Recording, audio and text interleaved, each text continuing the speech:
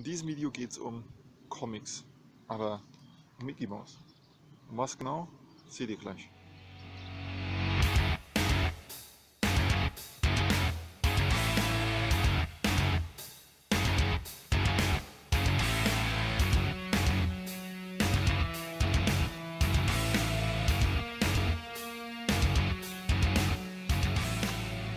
Und hallo.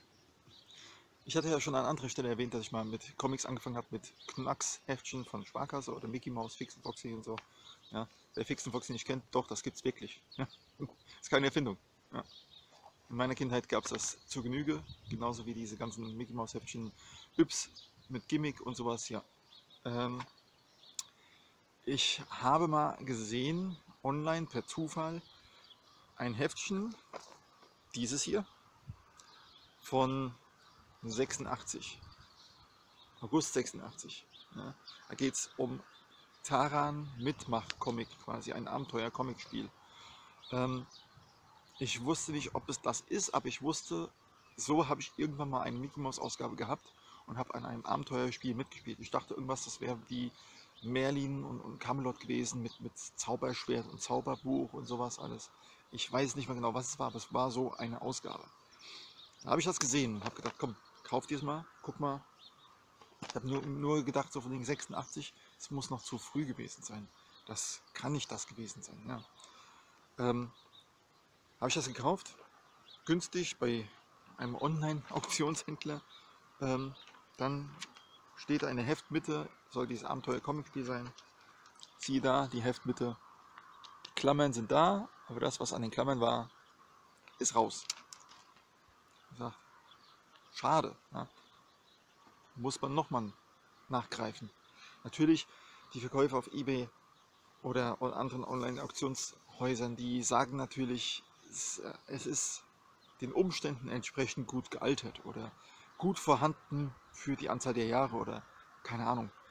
Und dann denkt man immer, es könnte trotzdem die Heftmitte noch vorhanden sein oder gut erhalten äh, im Dachboden äh, 30 Jahre gelagert oder sowas. Ja, wo man denkt, okay, 30 Jahre, da kam es in etwa vielleicht raus, bisschen mehr als 30 Jahre, 35, 33 Jahre oder so, könnte noch original erhalten sein. Ja. Ich musste dann natürlich nachlegen und habe mir das nochmal gekauft beim anderen Händler und habe gefragt, ist die Heftmitte drin? Ja, ja, ja, die ist drin. Da ist auch wirklich drin. So muss das aussehen mit der Heftmitte. Ja. Da ist das Abenteuer Comic Spiel dabei ein Bogen mit Sachen, Goldmünzen, Flasche, Proviant, Kette, Zauberschwert, ja, alles dabei. Und worum geht es hier eigentlich? Ähm, für mich war das der Vorläufer von Rollenspielen oder von Abenteuerspielebüchern. Abenteuerspielebücher und so und Rollenspiele oder Solo-Abenteuer und so, das hat mich zum Rollenspiel bewegt. Das ist das, was mich dazu bewegt hat, irgendwann mit einer Gruppe am Tisch zu sitzen und Pen-and-Paper-Rollenspiele zu spielen, quasi. Ähm, aber diese Abenteuer, die kann man auch alleine spielen. Das sind Solo-Abenteuer, wie es so schön genannt wird. Ja? Solo-Bücher oder äh, Spielbücher oder wie sie alle heißen. Man fängt an mit einer Vorgeschichte, mit Kurzanleitung, was zu tun ist, wie die Regeln sind, wenn überhaupt komplizierte Regeln dabei sind. Meistens ist es simpel und einfach, vielleicht mit nur einem sechsseitigen Würfel zum Würfeln von Zufallsereignissen. Da fängt man an zu lesen und muss sich immer wieder entscheiden. Wenn du das machen willst, dann gehst du dahin. Wenn du das machen willst, dann gehst du dahin. Ja? Ich weiß nicht, ob man das sieht.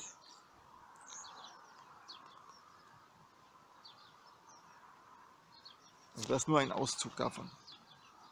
So, und als ich das dann gekauft hatte und mir ein bisschen durchgelesen hatte und so als Erinnerung aufheben wollte, ich habe jetzt nicht die Intention dazu, den Standsbogen auszustanzen. Ich bin froh, dass es überhaupt vollständig war, wenn ich den jetzt auseinandernehme, ihr wisst. Als ich das so gesehen habe und bearbeitet habe und im Internet noch weiter recherchiert habe, habe ich noch gesehen, dass es auch ein anderes Mickey Mouse Heftchen etwa ein Jahr später gab.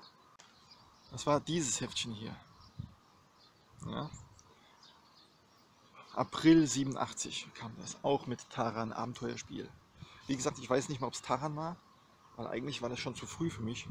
Es muss irgendein anderen Film gewesen sein, vielleicht von Disney für euch was anderes. Merlin, das Zauberschwert oder die Hexe und der Zauberer oder irgendwas, ich weiß nicht irgendwie was von 90er rum. Ich weiß nicht genau wann. Es ist halt das Dilemma, weil man nicht mehr so die Erinnerung hat daran. Ich weiß nur, dass es das war, was mich begeistert hat. Und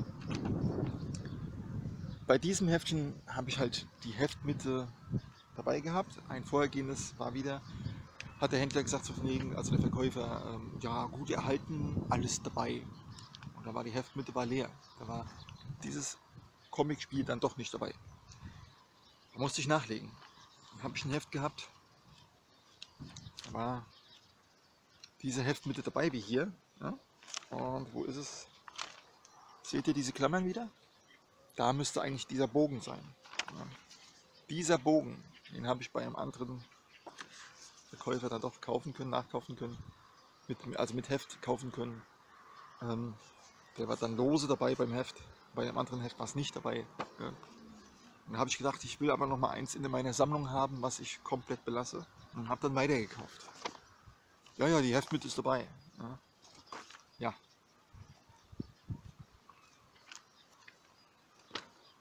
Bis ich dann wirklich ein vollständiges Heft hatte.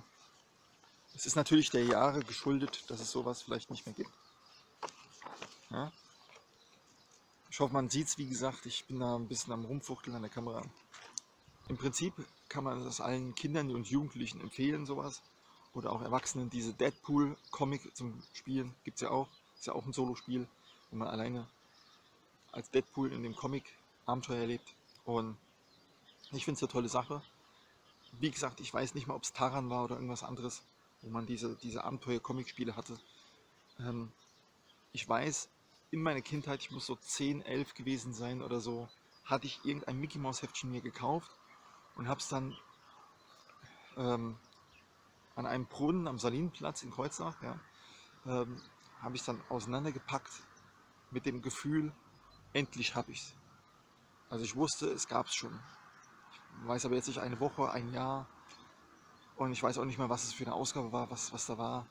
Ich weiß nur, da gab es so ein Zauberbuch, ein Schwert, Tränke, Proviant und sowas und das hat mich begeistert.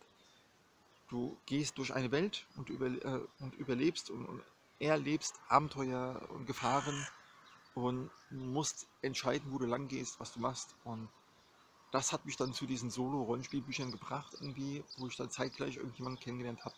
Also fast also ein, zwei Jahre Unterschied, äh, der gesagt hat, er kennt sich mit Rollenspielen aus und hat mich dann eingeführt zuerst in die Welt von Midgard und in die Rollenspiele an sich. So ein Video habe ich auch schon gemacht. Ähm, wie ist eure Erfahrung dazu? Habt ihr auch sowas gekannt in eurer Kindheit? Habt ihr auch sowas gelesen? Schreibt es mir gerne in die Kommentare. Ansonsten war es das schon mit diesem Video. Ich wünsche einen schönen sonnigen Tag, den wir jetzt haben. Und ein schönes sonniges Wochenende. Und haut rein.